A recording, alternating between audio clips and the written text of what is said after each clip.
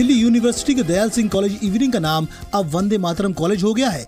College की governing body ने प्रस्ताव पारित कर ये फैसला किया है। नाम बदलने के साथ इवनिंग शिफ्ट के छात्र भी मॉर्निंग शिफ्ट में शामिल हो जाएँगे। कॉलेज की गवर्निंग बॉडी के मुताबिक एक बैठक में कॉलेज का नाम वंदे मातरम रखने पर चर्चा हुई, जिसके बाद सर्वसम्मति से नाम बदलने का फैसला हुआ। कांग्रेस अध्यक्ष सोनिया गांधी और उपाध्यक्ष राहुल गांधी ने आरोप लगाया है कि भाजपा नेता सुब्रमण्यम स्वामी ने नेशनल हेराल्ड में जो केस दर्ज किया है, उसमें वो जानबूझकर देरी कर रहे हैं। सोनिया, राहुल और चार अन्य आरोपी कांग्रेस नेताओं ने ये बात सुब्रमण्यम स्वामी के आवेदन के जवाब में कही, जिन्होंने अपने द्वारा दायर विभिन्न दस्तावेजों को स्वीकार किए जाने या इसे नकारने की मांग की थी। कांग्रेस के नेताओं ने कहा कि शिकायतकर्ता द्वारा दायर आवेदन में कई खामियाँ हैं और इसे शुरू में ही खारिज किया जाना चाहिए। अदालत अब इस मामले में 20 जनवरी को सुनवाई करेगी।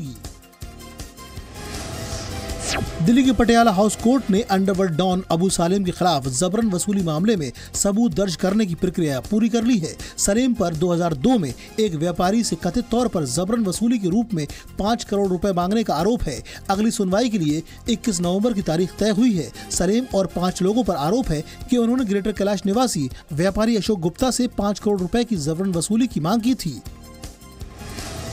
अवैध शराब बिक्री को लेकर दिल्ली महिला आयोग ने पुलिस प्रशासन और आबकारी विभाग को नोटिस भेजा है। नोटिस के माध्यम से आयोग ने पूछा है कि जहांगीरपुरी और हुलम्बी कला में शराब घरों में धड़ल्ले से बनाई और बेची जा रही है। इसकी सूचना दोनों पक्षों को है या नहीं? यदि है तो इन दोनों पक्षों की ओर से क्या कार्रवाई की गई है? आयोग पिछले कुछ दिनों से लगातार शहर के इन दोनों इलाकों में औचक निरीक्षण कर रहा है। दिल्ली उच्च न्यायालय ने कहा है कि डीडीए दिल्ली में अपनी ज़मीन को सुरक्षित रखने में असफल रहा है। अदालत ने इसके साथ ही उसे भूमि प्रबंधन नीतियों के निर्माण तथा सार्वजनिक भूमि से अतिक्रमण हटाने के लिए एक इकाई बनाने का निर्देश दिया। अदालत ने कहा कि ये इकाई डीडीए की भूमि प्रबंधन नीतियों की निगरानी करे और जब कभी भी ज़रूरत हो तब सुनिश्चित करे की अदालत का आदेश लागू हो और वो अन्य सभी पहलुओं की भी निगरानी करे। मुंबई के western railway local train route पर गोरेगांव और मलाड के बीच तीन महिलाओं की ट्रेन की चपेट में आने से मौत हो गई।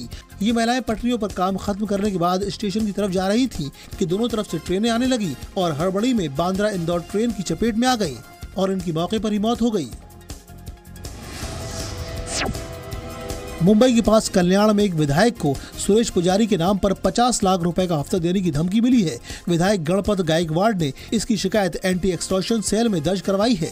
शिकायत में कहा गया है कि फ़ोन करने वाले ने अपना नाम सुरेश पुजारी बताते हुए 50 लाख रुपए मांगे और नहीं देने पर पूरे परिवार को मारने की धमकी दी। मुंबई के सेंट्रल रेलवे रूट पर ठाणे और एरोली के बीच नया स्टेशन बनेगा। इस स्टेशन का नाम दिघे होगा और इसे बनाने में 107 करोड़ रुपए का खर्चा आएगा। इस स्टेशन के बनने के बाद मुंबई में सेंट्रल रेलवे की लोकल ट्रेन सेवा के 77 स्टेशन हो जाएँगे। मुंबई में जर्जर इमारतों को रीडेवलप करने के लिए बीएमसी नई पॉलिसी ला रही है। इसके चलते पुरानी और जर्जर इमारतों का पुनर्विकास आसान हो जाएगा। मुंबई में तकरीबन तीस हज़ार जर्जर इमारतें हैं। हाल ही में जर्जर इमारतों के ढहने से हुए हादसों के मद्देनजर बीएमसी नई पॉलिसी ला रही है। महाराष्ट्र के धुले ज़िले के शिरपुर में हफ़्ता नहीं देने पर दो व्यापारियों को जलाने की कोशिश की गई। आतिश जैन और विकास जैन नाम के दो व्यापारी भाई अपनी दुकान बंद करने के बाद जा रहे थे कि रास्ते में दो बाइक सवारों ने उनकी बाइक रुकवाई और बोतल से पेट्रोल फेंका। दोनों भाइयों ने किसी तरह भागकर अपनी जान बचाई।